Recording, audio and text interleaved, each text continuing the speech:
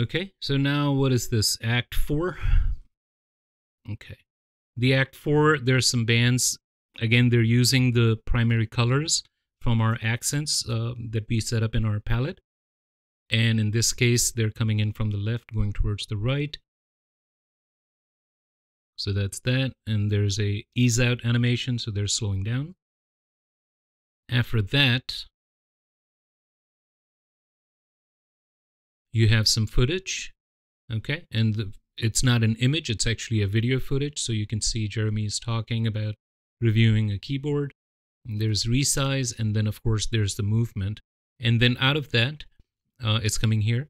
And then it's also going to the next uh, stack of nodes.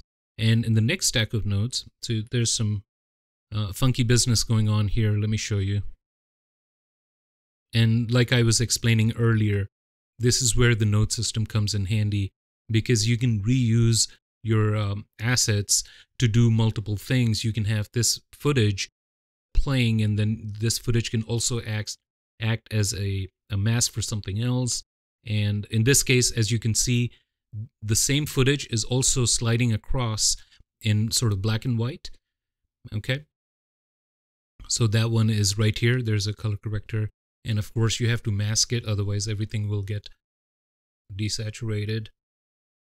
And then the mask that moved across is also masking this keyboard text that slides across.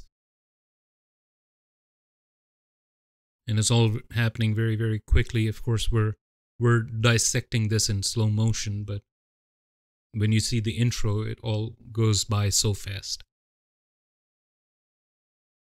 Okay. Moving on to the next node. So you have this sort of peach bar that comes in from the left, and the reason why it's uh, it's just sort of taking a small area instead of the whole is because now it's leaving the presenter in the frame, so you can still see Jeremy's face. Let me move this render range up a little bit. Okay. And then in this bar, in this band, in this sidebar or whatever, you're going to have these texts come in. And there is something very interesting that's about to happen that I'm going to show you that you may not have noticed when you saw the intro.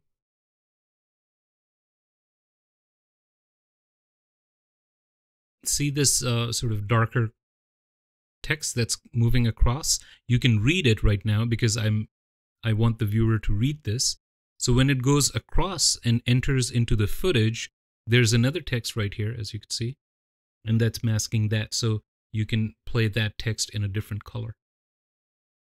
So you see that little text will change its color to a different color, and that's the mask that's controlling it, right? And let's move up the render range a little more. In terms of typography, the logo, the one that says Jeremy See, is the serif font that we use, the Playfair, which is very classy and sort of traditional. And all the text in the intro uh, is all the sans serif, the Montserrat text font. It's kind of my style. I, I've been using that a lot. And then you also have this sort of Bebas Neue neutral text in there. Okay, so in this slide, in this act, we're establishing a couple of things that we're trying to express here.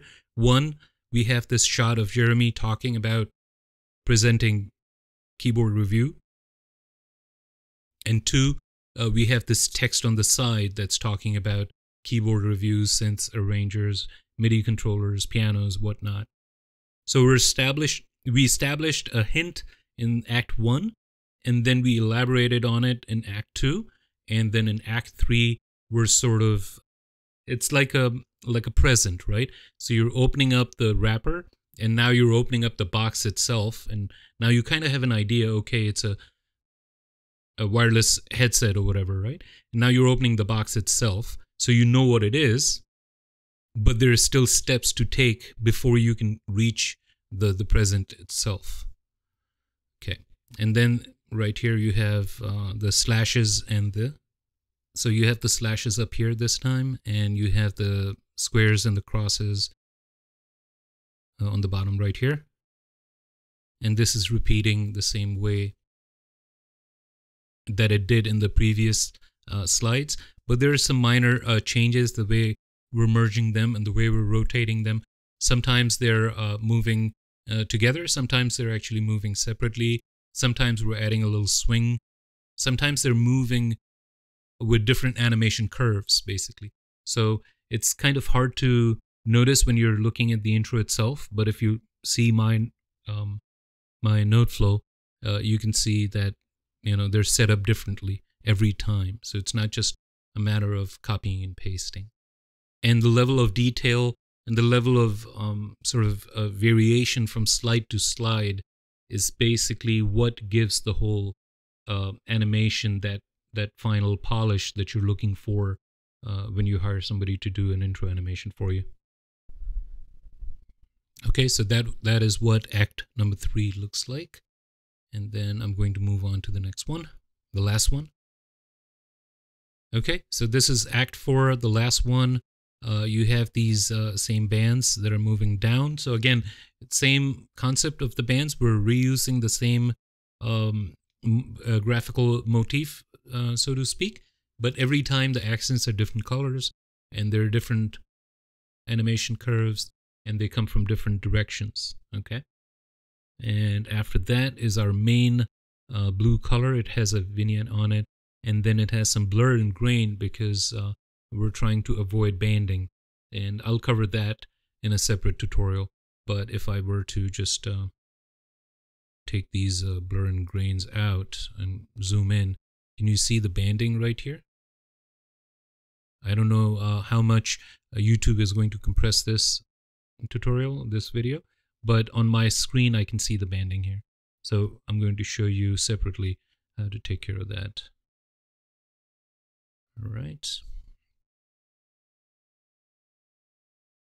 Okay, so now we're closing in on the resolution. So for the resolution, again, we're going to use the dark blue in the background and the peach in the foreground. And that's what that looks like. Now we're going to bring in our logo. And there we go.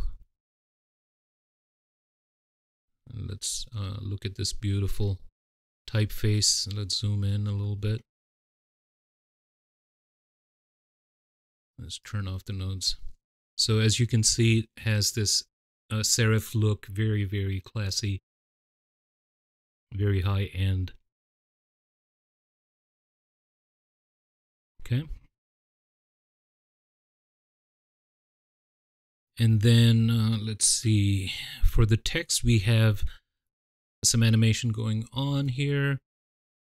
There is, I believe, yeah, opacity. So it's it's fading in, I guess. And then for the movement, I don't know if you can see it, but let me rewind it here. You'll see that it has this sort of um, um, kerning animation going on, as well as the the last word keeps moving to the left. And then, and this is going to eventually become the logo itself. So now we have a nice little logo. So this is going to be used by the client in whatever they want to do. And then we also have an additional uh, slogan line, and this is light gray. It's using a um, a sans serif typeface to sort of um, contrast the logo font. Okay. So it fades in and it moves to the right. This one moves to the left and then the piano drops down.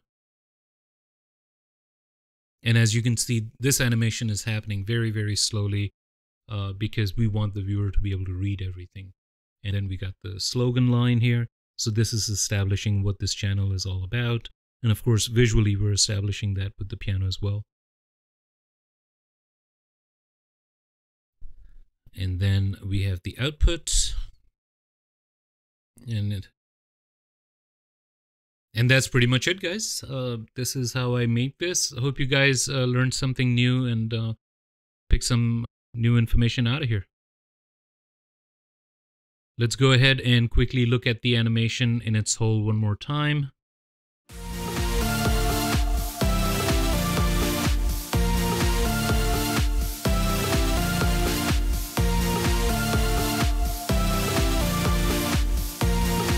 Whew that was a lot to take in. Well, there you have it, guys. I hope you guys found this entertaining. You picked up some new tips and tricks. If you have any questions, leave them in the comments below. Happy compositing, and I'll see you in the next one. Bye.